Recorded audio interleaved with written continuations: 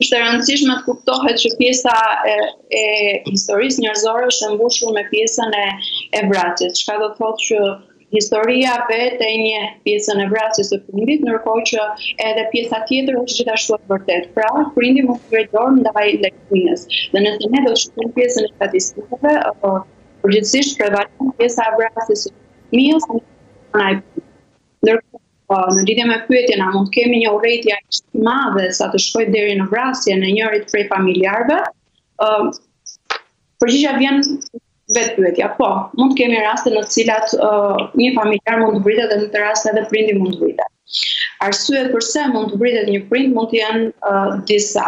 Kryesisht listohet të listohen arsye të cilat kanë të bëjnë me pjesën e dhunës ose abuzimit brenda familjes. Mund të jetë një arsye e cila ka në vetvete pjesën e problematikave të shëndetit mendor dhe varësisë nga substancat narkotike dhe së fundmi mund të jetë një vrasje për arsye të qëllimeve të përfitimit. Në rastin në fjalë të gjitha pistat aktualisht nga deponimet, pra nga rrëfimet e të arrestuarve dhe të akuzuarve, janë kundrejt dhunës.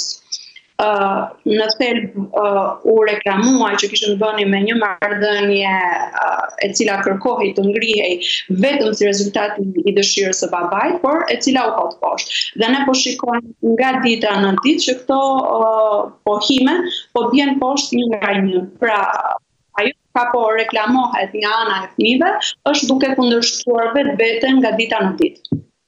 Është shumë kontradiktore dhe ende nuk është e qartë se kush është vrasësi, kush ka ekzekutuar babain. Unë dua të ndaleshim pak, Manolita, për të kuptuar dhe mënyrën qëndrimin e këtyre tre fëmijëve edhe në gjykatë. Sepse gjatë punës në televizion, për vite e vite me radhë, kemi parë raste të tilla, por mënyra se si të akuzuarit, le të themi, rastin konkret ata të cilët akuzohen për vrasje, mund të shprehin pendesë, mund të qajnë në gjyq, pra kemi parë mënyra nga më të ndryshmet se si mund të qëndrojë një i pandehur,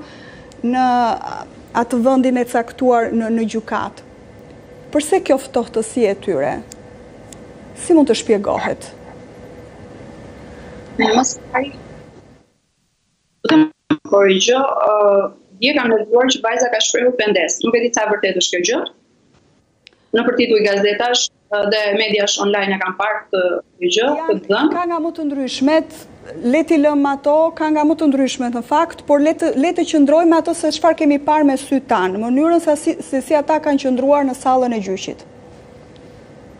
Atëherë, unë do të shikoja elementet e inatit. Pra, vepra mund të jetë kryer në inat e sipër, çka do të thotë që Familjari ose familjarët, sepse nuk e kemi ende të qartë nëse është një, nëse janë disa, nëse është vajzë, nëse është djalë, apo nëse është dikush tjetër i cili nuk është ende pas hekurave që ka kryer veprën, vepra është kryer në elemente të cilat kanë të bëjnë me një sfond emocional shumë të fortë dhe shumë të fuqishëm.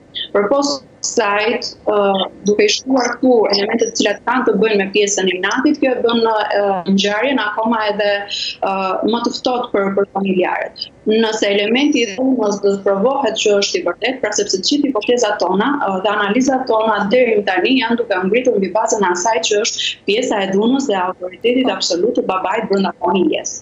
Pra, nëse i qëndron kësaj, e gjithë analiza jonë fokusohet te kjo, por nëse del një tjetër element, i bie që ne kemi qenë të gabuar në të gjithë këtë çfarë kemi çfarë kemi ngritur deri tani, për të qenë korrekt dhe me audiencën. Po. Ndaj në këtë lloj konteksti, në momentin në të cilin ne kemi këtë lloj sfondi emocional kaq kaq të vështirë, do të thotë që këta kanë qenë individë të cilët pjesën e emocioneve të veta e kanë mbajtur të shtypur pikërisht për t'i qëndruar asaj dhunës që është ushtruar ndër vite. Pra, kanë ulur ndjeshmërinë e vet. Jo se ndjeshmëria ka një buton nëpërmjet të cilit ne mund ta shtypim dhe mund ta ulim, por automatikisht pjesa e mendjes njerëzore kërkon që të mbijetojë në një ambient i cili nuk është dhe fort favorizues. Kjo nënkupton që edhe ata individë të cilët janë pre e ngjarjeve të tilla sikundër mund të jenë lufta e të tilla, kanë një element të ndjeshmërisë dhe të empatisë pak më të ulur se pjesa e popullatës e cila jeton në kushte më të favorshme jetese. Pse? Sepse kjo bën të mundur pikërisht elementin e mbijetesës në një sfond i cili nuk është i favorshëm për të jetuar. Ndaj në në në të tilla elemente dhe në të tilla kushte pjesa e emocionalitetit është ajo çka e ka kushtëzuar të të gjithë gjë Të gjitha të shprehjen emocionale aq të ftohtë dhe aq rigjide për ne nga jashtë sepse duhet të kemi parasysh që uh, ne kemi disa vlera dhe disa norma morale, të cilat ruajnë shoqërinë janë norma të pashkruara dhe më pas janë kthyer në norma të cilat uh, rregullohen dhe me ligj, që më së pari është vlera e jetës, pra respektoje jetën, dhe më së dyti është vlera tjetër e cila ka të bëjë pikërisht me aspektin e nderimit të prindit. Dhe të dyja këto elemente janë kanë rënë poshtë nëpërmjet kësaj vepre që është që është kryer. Pra, kemi kemi një një një një rënie të të këtyre vlerave dhe parimeve morale ndaj edhe është pjesa e shokut të të publikut ndaj ndaj veprës së kryer. Mhm.